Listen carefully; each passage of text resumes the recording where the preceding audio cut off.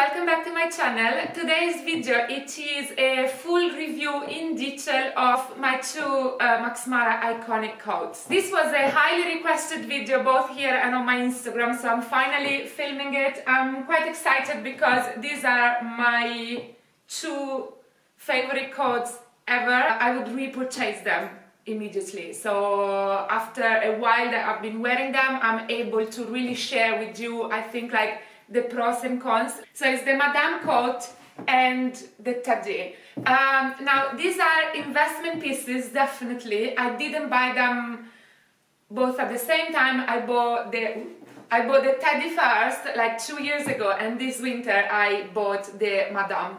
Now, um, as I was saying, they're definitely like investment pieces. So in the video, I'm gonna try to give you like all the information, like not just only the pricing, but you know, all the pros and cons of the coat to understand if it's a good coat for you before you invest in them. And then I'm also gonna link down below uh, the retailers where I would buy them myself, where they offer like good prices and they are trustworthy to like spend so much money on. And before I start, I'm gonna give you like my measurement just so then you can compare because I know that this is a question that is gonna come up in the comments anyways. So I am quite tall, I'm 175, I think is like what, 5'8". So I'm quite tall, I have very long arms, so this is the main reason why in most of my clothing with long sleeve I tend to size up. Otherwise the sleeves fit very short on me.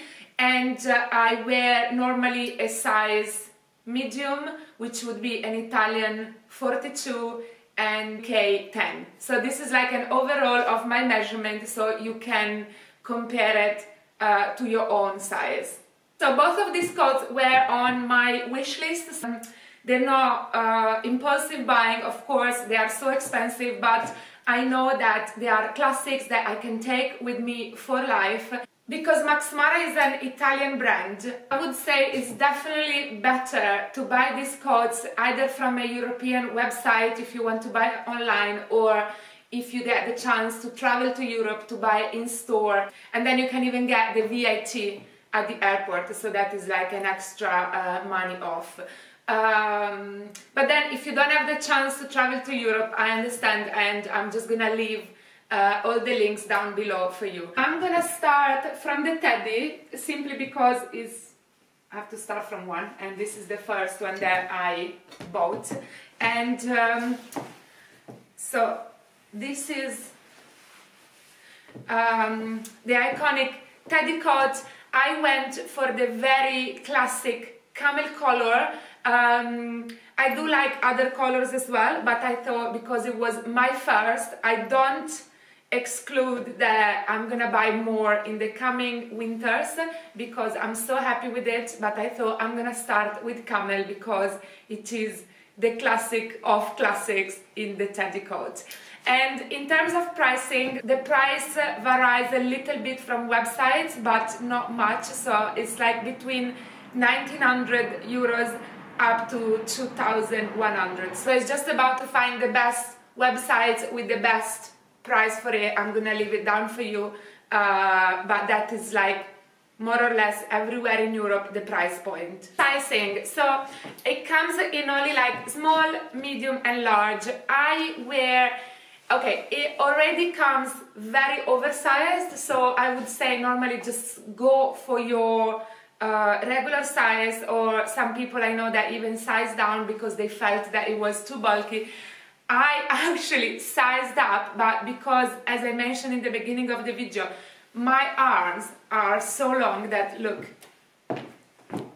is not too long on my arm this one and then the medium would be like this and for me a winter coat cannot have leaves too short. This coat it is so warm so that is like Probably one of the downs of the coat, if I have to find a cons, it is that I only wear it when it's very cold or if I know that I'm gonna go in winter sit in a terrace then I will wear this coat. If you live in like very like North Europe like Finland or Sweden where the temperature goes like minus a lot, then I think it's worth it.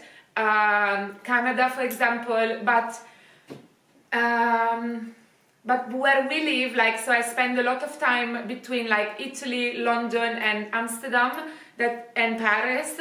So sometimes I would say that it is too warm for it. So that is the only thing. Like, I uh, I only wear it when it's like very, very, very cold.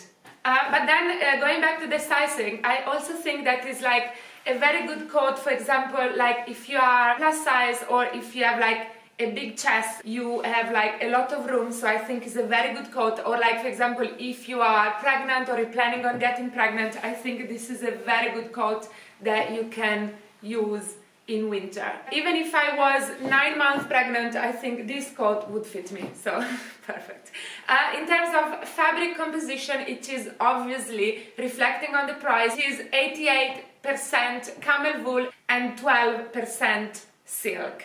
So it is, as I said, very, very warm, very cozy. Um, when I wear it, in terms of styling, I don't really need to wear a scarf with it because even if I don't button it up, but I just do this, like it is warm enough. So basically, uh, when I wear this, I don't need like an extra scarf to keep me warm because this is literally like so cozy. It's just like almost like leaving the house with your duvet on you and it's just like the best. I really like to wear it open. It is um, double-breasted, so you have buttons and I never really wear a bottom but just to show you this is how it looks like uh, but this coat to be honest is supposed to be worn like quite baggy like a lot of times I understand that if you uh, walk down the street you're not gonna walk with your coat like this but I wear this a lot for example if I know that in winter we're gonna sit in a terrace like even like a heated terrace this is the coat I wear. Like just on my shoulder like this, it keeps me super warm. And anyways, the way I wear it is always like kind of like open because as I said, it's so warm that it still keep you uh, very warm anyways. And then eventually if I feel really cold, I do this. But this is the way I like to wear it, just like that. In terms of colors, if you click on some of the links down below, you can see that it comes in a large variety of colors, uh, also like quite of like bright colors. That is not something I personally wear, but the other color uh, I would buy and I probably will buy with the ears because as I said, this is kind of uh, the first two ones that I bought because I intend to expand my collection towards a year and I really like also the black one and I also really like the sort of like light beige taupe color. So those are like my top three colors that I really like. One of the last things I want to say about the Teddy is that you kind of need a handbag, like a bag that you can carry because I can show you example like it's not easy to you wear a crossbody with it. I'm just gonna demonstrate it for you with two bags. So this is the uh, my Chanel top handle. So this is a sort of bag that I would wear with, just like this. Or basically, if you want to wear a crossbody, the coat, it fits, but it I think it doesn't look amazing because then first of all you have to fold it and then it feels it feels bulky because uh, of the sleeves that are like cut quite below so if you want to if you want to wear a crossbody bag I would wear it underneath and then leave the coat open so like this you know what I mean? This works. Okay, on to the next iconic Max Mara coat. It is the Madame coat, also called 101801 coat. This I bought it in September, so a few months ago. Um, actually, um, well, because I'm Italian, always known Max Mara coats. My mom always used to wear Max Mara coats, and so I kind of grew up with the knowledge that when you want to buy the best coat out there, you go to Max Mara. so what happened is that when I was in store two years ago to buy the Teddy coat, they showed me this coat and when I try on, I completely fall in love with this one. For me, it's like the coat. There is nothing out there comparable to this coat. And so, but I felt that day it was like too much to buy two coats on the same day. But it just stayed with me like in my mind and I thought like, okay, next time I'm gonna buy the Madame. And uh, yeah, I, I still love it like the first day that I saw it. The Max Mara Madame, it is the most iconic within the three Max Mara iconic coats that are of course the Madame, the Teddy coat and there is another coat that is called Manuela that is another iconic Max Mara coat but this one um, is like also the oldest um, is very cute because inside the lining you have the story of the coat, uh, which is, it, yeah, it's also in English. So it's in Italian and English. So and it was uh, designed and launched in 1981. So it is, of course, like an 80 style. Like it stayed like that. Late 80s is my favorite. Um, fashion era. Uh, so I always get inspired by late 80s as well with like my personal styling. So I had I had to have this coat, and um, the design didn't change since then. And this has always been the best-selling Max Mara coat. It is double-breasted. You can button it up, and then you have uh, kimono sleeves and the way of wearing it, it is with the sleeve uh, rolled up a bit. So this is how uh, I saw when I did my research, but also like how the shop assistant showed me when I was in the Max Mara uh, store. So this is the way to wear it with the sleeve like this. And then it comes with a belt as well. So this is how it looks with the belt. Uh, the only downside of the belt is that um, is not attached, so the belt is loose and uh, so it is kind of easy to lose it. The day that you wear it without the belt, you should leave the belt at home. I always wear it without the belt, to be honest. And then uh, to store the belt here, you see there is like a little hook. So when you're at home, this is how you put your coat away. So you put the belt here and you store it away like this so you don't lose it. I sized up, so I have an Italian 44 and um, again because I want a really like 80 styling coat I want it to be long. I want my shoulder to be like nice and drop. And I want, I'm gonna show you the same. So when I do this, look, I want to be able to roll the sleeve and then still, that they don't still look short. And then this is how it looks, even with the sleeves rolled down. Um, as always, I prefer to wear mine open just like this. Um, but this is how it looks like button up. And it's still quite roomy, like it's a bit of a boxy cut. So even button up, it doesn't become too tight and I also like it. I like it both ways, but I always prefer open just because, you know, it looks a bit more like undone, like not too perfect and it's just probably like a personal styling taste. This is like slightly more expensive than the Teddy.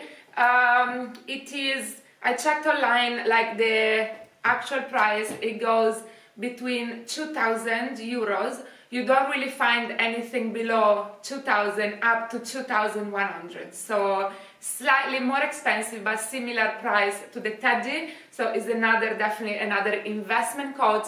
It comes in six colors all very like classic timeless colors like one day maybe I'll have all six of them. This is how much I like this coat.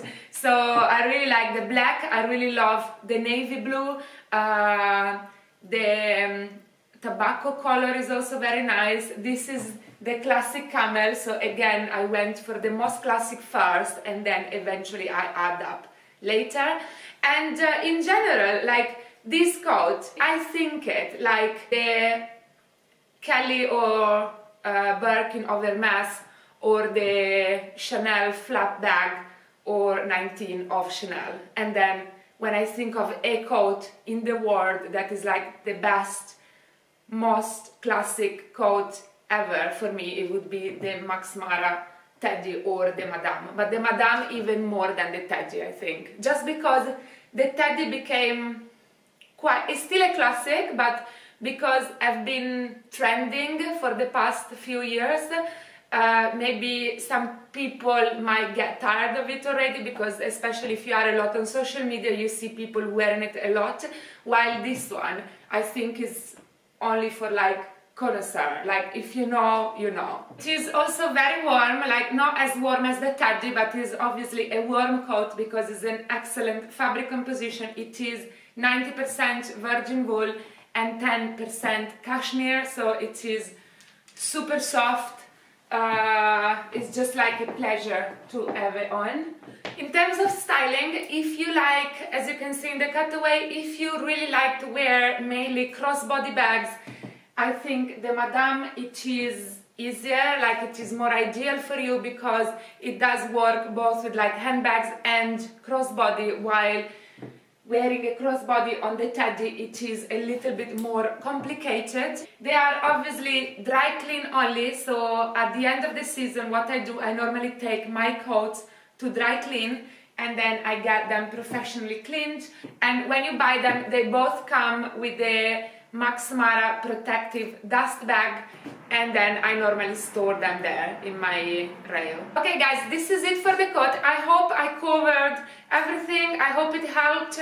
If you are thinking of buying any of these, you can find the links down below here. I hope it was helpful if you have to make a choice. I know that they are both really like quite big investments so I hope the video helps if you have to make a choice and uh, especially if you don't have Max Mara in your city and you don't have the chance to just walk into the store and uh, try them on. Let me know what you'd like to see reviewed next. I think a lot of people on Instagram asked me to review my new Goyard bag, so that is probably gonna be my next designer review. And I'll see you next week with the next video. Bye!